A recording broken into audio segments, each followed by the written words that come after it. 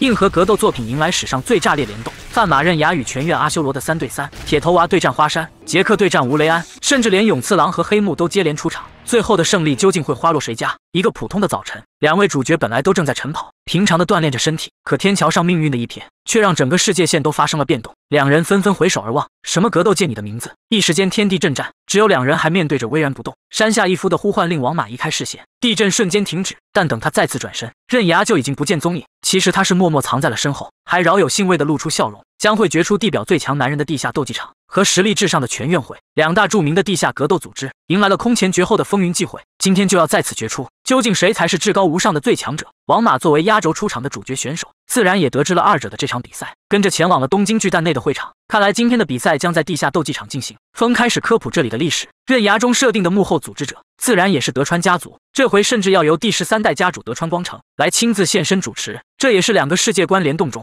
如同兄弟会一般的奇妙巧合。至于这次为何是全院会客场作战，那当然是因为这种比赛甚至不是第一次举办。之前在联动漫画中，德川和片原就曾表示互为好兄弟。出战时，德川特意拉来了余地独步，当时是在全院主场的便宜仓库打了一架。那场比赛的胜负并未公开，但独步却在那之后休养了整整半年。听闻这个消息，让刃牙的众人都震惊起来，重新评估起全院会那边的水准。此时，非洲大陆最强的佣兵穆特巴和超级军人凯亚狭路相逢。他们都跃跃欲试，想要来一场。凯亚赫然想要当场来个狮吼功，不过对盲人使用声波攻击，果然还是有些过分。更何况这次的主角并不是他俩，最终只能遗憾的偃旗息鼓，乖乖的当守门员保安。初次联动时候的主角之一独步登场，他刚和萨帕因见面，就没忍住虚晃一拳。他上次的对手正是帕帕因，没错，就是我们铁头娃的老爹，所以他们当然要互相打个招呼。奥利巴和尤里乌斯同为肌肉男。则是开始深情对望，商业互吹。一个是平常最愿意拉直升机，一个不甘示弱，表示爱好是拉 F 一赛车。射川当气和初见拳这两位和气道大师，似乎也被彼此的气场本能的吸引。初见本来是想跑来借个火，可却碰了一鼻子灰。眼见各位这就开始和平交流，两边的观众席上也坐满了熟悉的角色。得知地下斗技场竟然不给钱，只会专注于提升自我实力，全院世界大为震撼。不过更令人震撼的还是两边的画风融合，能看出确实是刃牙主场。街霸亚当遇到暴走族柴千春，两人同为小混混，也开始在目光中天雷勾动地火。最令人激动的还是烈海王，他现在还能活生生的站在解说席中间。他注意到高处还有个职业条子正在观望一切，难道还想对死囚犯执行正义？英初和新梅也在后方随时准备。他非常期待刃牙那边能打个重伤，献上生命让他解剖。可惜刃牙的医生红叶肯定要阻止。两人一个能心脏移植，一个能妙手回春，都是名医，气氛剑拔弩张。新美站在中间想劝架，可他们原来还是旧识，竟是臣妾多管闲事了。他们表示曾是医学院的同学兼老朋友，什么医学院如此藏龙卧虎？大赛即将开始，两位大佬端坐于竞技场的朱雀门，将由他们为大家解释比赛规则。不过除了不准使用武器外，百无禁忌，只要战至最后一人即为冠军。这规则恐怕无人会不理解，就让他们看看双方的好手们能打出怎样的三场战斗。两位大佬宣布比赛开始。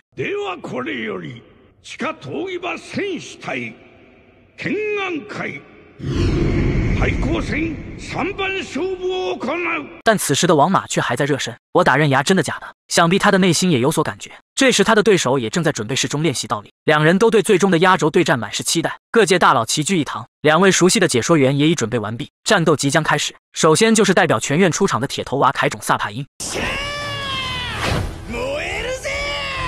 来自缅甸的咆哮斗魂，这波是父子局，他肯定不能给上届的老父亲丢脸。而他的对手则是刃牙方花山组的第二任老大，也是日本第一拳手的花山薰。随着击鼓开始，铁头娃率先摆好架势，热血沸腾的他可没有耐心继续对峙，直接上前。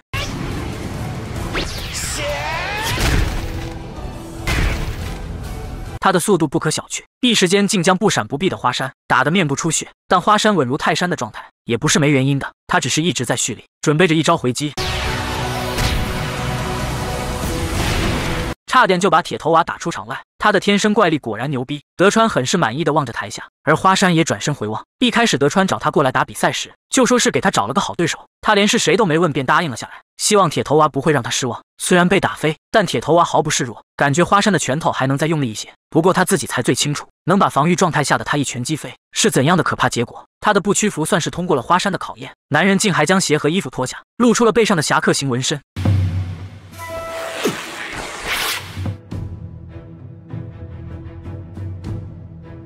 还好他没把传统的元和二年继续宣传给全院世界。总之，这是他认可了对手的表现。铁头娃见此自然更加兴奋，二者立刻开启了下一轮对殴。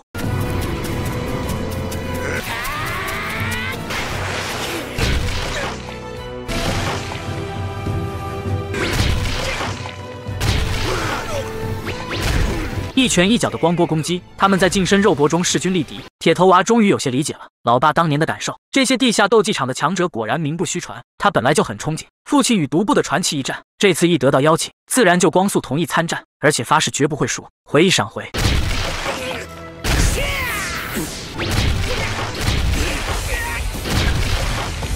他虽然打得不错，但花山的实力依然不容小觑。不过谁都没想到，铁头娃竟也会故意等着对方攻击。当花山自以为打到了他头颅弱点的时候，便瞬间反击了个头锤。这一波比挨上一记铁锤都猛，花山竟被打得单膝跪地。这次他可是选错了攻击位置，打铁头娃的头当然不是个好选择。这位堪比金属的头骨，可不是浪得虚名。而曾与缅甸拳对战过的独步，最清楚他们缅甸一甲全身骨骼的强度，反复断裂重塑的方法几乎疯狂。就在众人以为比赛已经迎来决胜时，花山可是还没认真出手，总算按捺不住，使出了成名的握击，活生生的将萨帕因的手臂挤爆。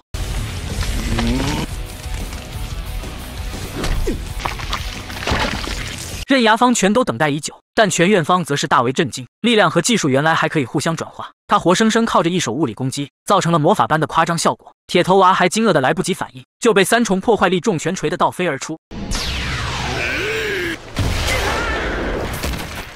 但他依然不会乖乖认输，这场比赛对他来说非同凡响，他绝对要比起父亲留下更加浓墨重彩的一笔。他也使出了必杀技缅甸铁锤，钢铁般的脑袋和拳头互相碰撞。最后竟然是花山的手指被活活破坏扭曲，但花山可是还有另一只手，他也是个狠人，随手就将七扭八歪的断指掰回原样。这场战斗终于走向高潮与尾声，铁头与铁拳不停撞击。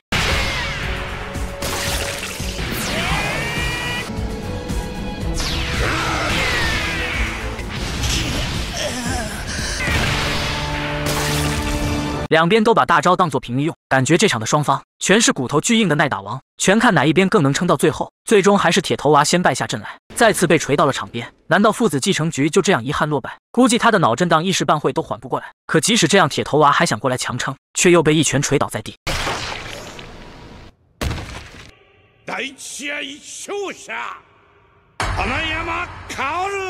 裁判终于正式宣判了比赛结果。第一场是花山胜，铁头娃最后只能横着出去，但他也已经拼尽了全力，大家都看得很是尽兴，就连解说席的大家都恨不得自己能上场。不过这时他们突然发现，两个肌肉猛男开始互看不顺眼，竟当场开始掰手腕。怕他们继续用力把场地踩坏，两位看戏的和气道大师及时联手阻止，竟然把大块头们以柔克刚，当场甩飞。初见不愧被称为浮云，最喜欢深藏功与名，立刻就又溜到一边开始摸鱼。第二场比赛准备开始，王马才刚刚来到观众席，不过他也在监控器上看到了首场比赛的情况，心中也变得跃跃欲试。他察觉到了刃牙的视线，冥冥之中就是有股力量使他们互相牵引。短暂的休息时间过后，第二场比赛即将拉开帷幕。刃牙方这边派出的是通过极端的药物摄入和魔鬼训练。铸就强壮体魄的杰克范马，而代表全院会出场的，则是具有千年漫长历史的暗杀集团无知一族的巅峰强者，竞技的莫弈吴雷安。德川早就迫不及待想看他俩开打，这两人的风格都与上一场的互相耐打截然不同，很明显都更加阴沉恐怖。两个战斗疯子打起来的效果，想想就爽翻。再次击鼓宣布开战，这场的两人全都立即起步，电光火石之间就向对方的脸上轰去。吴雷安很快就暂时占据了优势，竟然能和杰克打得如此顺畅，刃牙方都在心中暗暗佩服。简单的几回合交手之下，杰克便有些显露颓势。雷安满脸不屑，居高临下的站在他面前。早听说过杰克是个狠角色，怎么刚被打几下就站不起来？片原来邀请他时曾说，杰克一定是最适合他的对手。两人都对力量有着永无止境的追求，但杰克是靠着服药、手术等等人工方式，用后天的科技狠活对身体进行强化改造，就像是人造的战斗机器。要知道，天生就有超强肉体天赋的雷安，最看不起的就是嗑药白痴。他肯定要来把这家伙揍扁，就知道这能够激起雷安的斗志。片源完美的计划通，雷安今天来的目的就只有一个，他会证明这些假把式根本就无法与人类肉体的真正实力抗衡。杰克依然坐在地上沉默不语，但就当雷安刚想继续辱骂对方只是个冒牌假货，攻击却已经来到了他的脸上，在空中划过一道华丽的弧线。杰哥在等药效，你在等什么？他还来不及反应，下一波攻击已经接踵而至。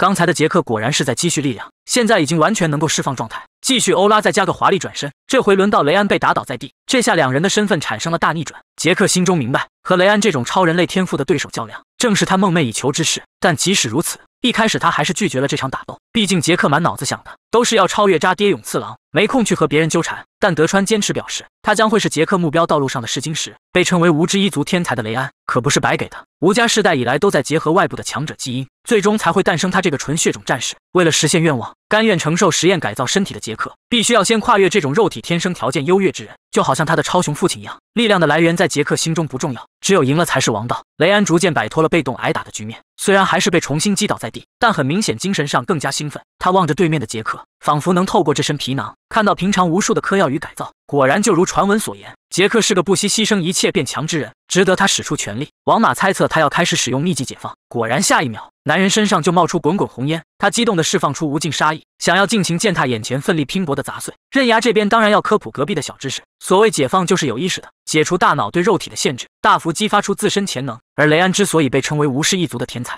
正是因为他的潜能解放率足以达到百分之一百。历史上能达到这种水平的族人也寥寥无几，不愧是全院会派出的强者，充分解放出如鬼神一般的魔人形态。杰克很想见识一下这样的他，也同时咽下了藏在喉口的大堆禁药。这就是天赋挂与科技挂的终极对决。可还不等这边药效发作，雷安已经速度极快的跑过去掐住了杰克的脖子，甚至将他高大的身体活活举起，再猛地往地上一灌。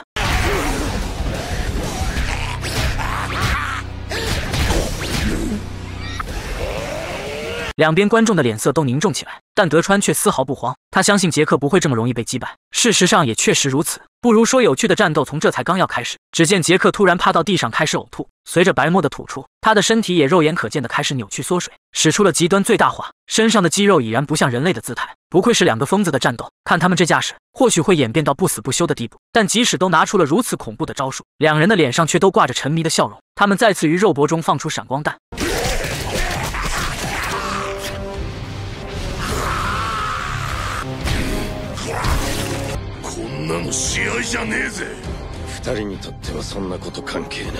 拳拳到肉的纯粹战斗，令他们打心底里感到高兴与享受。这哪还是什么打架？此刻两人置身的，仿佛已经不是判断胜败输赢的擂台，而是互相厮杀的战场。他们简直把比赛完成了生死决斗，互相连锤带咬，一时间血肉横飞。这下两个大佬也都不淡定了，斗技场怎么成了斗兽场？如果再不阻止他们，是不是真的会往死里拼命？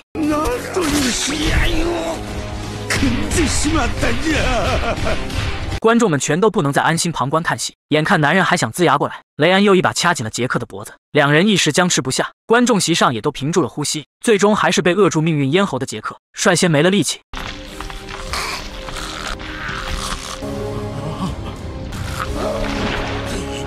脸朝下摔倒在地，获胜者终究还是具有天生解放力量的吴雷安。虽然两位大佬以为胜负已分，可杰克这飞人的身体却支撑着他再度站起，两人又重新开始互殴起来。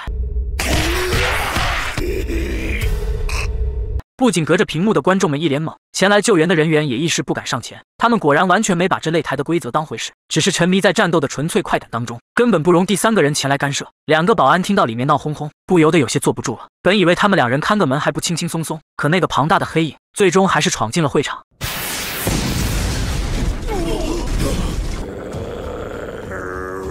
皮克怎么会出现在这里？难道他是发现了自己的风干腊肉被抢走，所以才会开始凭借本能行事？结果等他一冲入场上，顿时出现了三个疯子，情况更加混乱失控。保镖灭唐之牙加纳厄已经开始考虑他是否要出手。本以为会是三人扭打在一起，但关键时刻还得是主角们救场。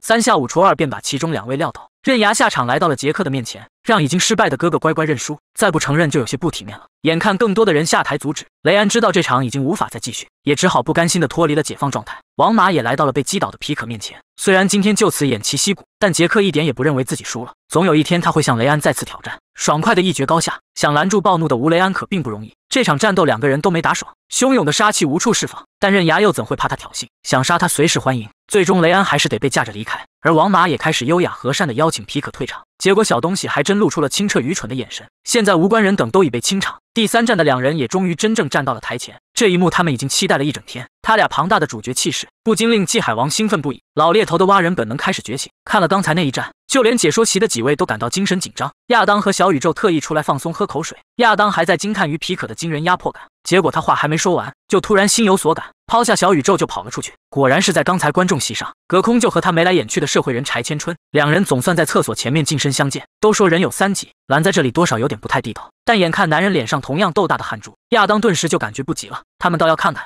今天谁能先让开进去。真不知道这奇怪的攀比之心是从何而来，纯属是损人不利己。但在关键时刻硬憋，可能也是男人忍耐力与尊严的一环。结果就是，直到比赛快开始，小宇宙依然没再见到他的人影。不过要问这最终战的主角去了哪里，王马居然跑回了休息室里补觉。至于刃牙，则还是习惯开启鬼脑，模拟锻炼到最后一刻。到达黄昏之刻，最引人瞩目的压轴男主之战终于即将开始。首先就是地下斗技场的卫冕冠军范马刃牙的登场，他的对手则是拥有阿修罗称号、兼具狂野与缜密的战斗本能与策略，坚信自己将成为地表最强男人的食鬼蛇王马。果然，自家的解说就是比较能加头衔。从早上那惊鸿一瞥，双方就知道对方会是命中注定的对手。两个主角舍我其谁，大佬们表示好看爱看。这场史诗级的巅峰对决现在开始。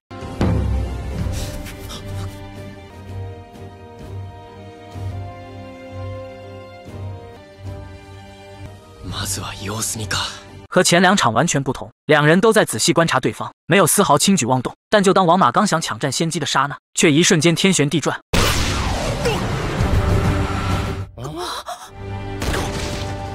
即使不是主场，倒也不必行此大礼。而这当然都出自刃牙的预知手笔。小宇宙非常怀疑，难道刃牙也能发动领域？看来王马这局并不好打。等他好不容易站起身，刃牙的下一波攻击就已经接踵而至。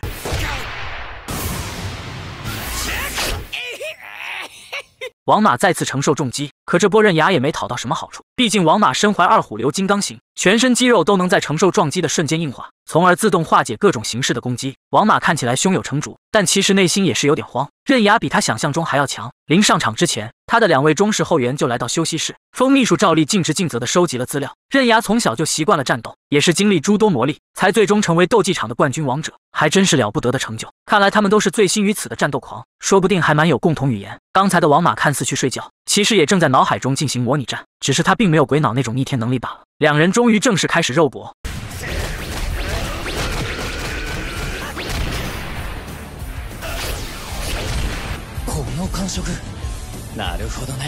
短暂交锋之间，刃牙就敏锐地察觉到了王马二虎流不坏的弱点，他当即出了个直拳攻向对手腹部，立刻就将王马击飞好远。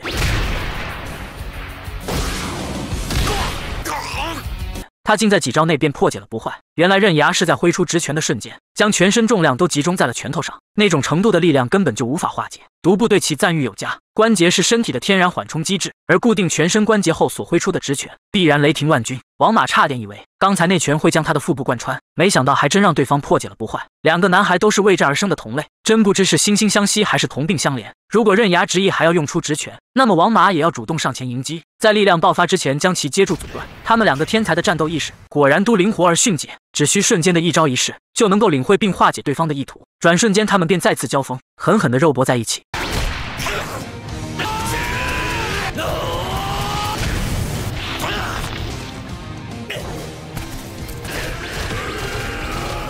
令双方观众都大饱眼福，可关键时刻，刃牙竟突然转身，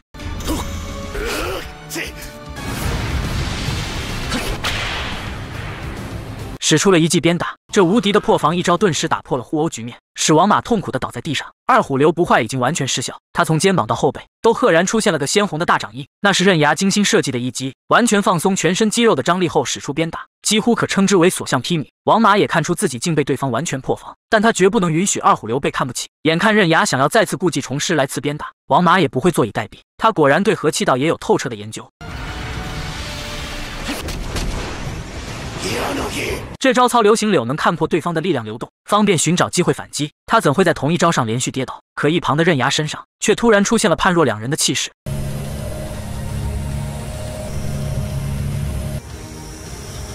他竟然玄幻的浮空起来。虽然王马并不知道这是他的气化高速蟑螂冲刺，但仍然警觉的在刹那间抵挡。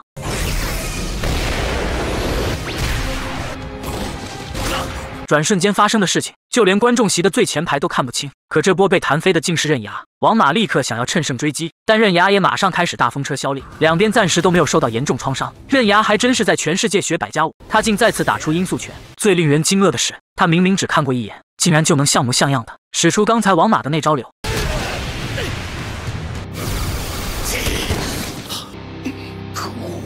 他的学习能力怎会如此逆天？眼前的对手瞬间竟让王马幻视了二虎师傅的身影。既然如此，他也不再留手，看看这招刃牙能够怎么复制。王马终于使出了成名技平神。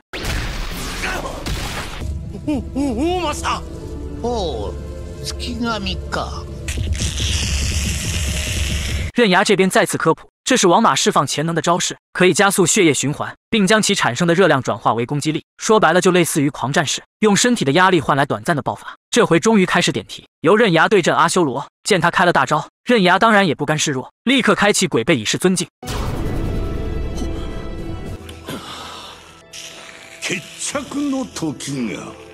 两人都拿出了决胜的外挂，看来胜负马上就会分出。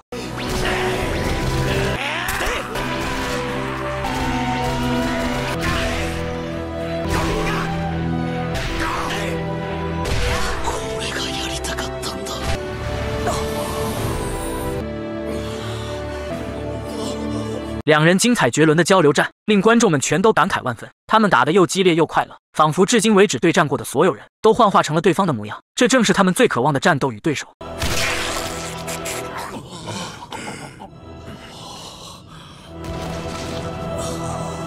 最终两人同时倒地，不分胜负。本来以为本场赛事就要这样平淡落幕，没想到即使有职业警察坐镇，还是又有意外发生。两位保安真是倒霉透顶。究竟是谁说这份工作只需要摸鱼？意外的角色登场在了两人中间。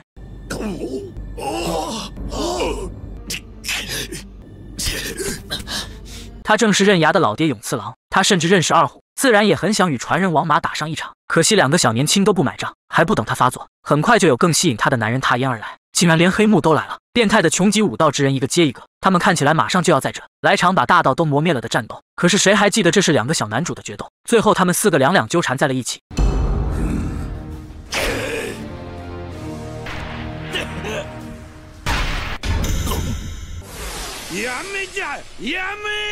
为了保护会场，果然大家最后还是只能包饺子。他俩可以预定打一场，只是现在还没安排到。今天的比赛怎么如此状况频出？既然两个大佬再三保证之后定然会安排两人对打，他们也只好悻悻离去，也就出场了个昙花一现。经过他们这么一搅和，主角两人一是没了兴致，二也是刚刚打的都没了再战之力，只能携手宣布平局。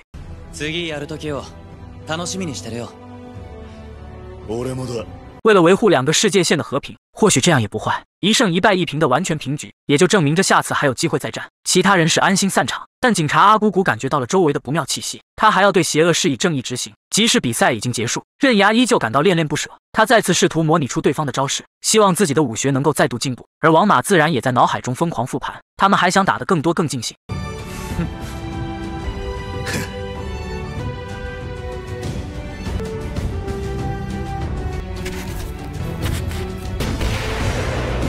结果全剧最搞笑的片段出现，这两个厕所男居然一直站到了天黑。我宣布，你俩才是今天最激烈的真正战斗。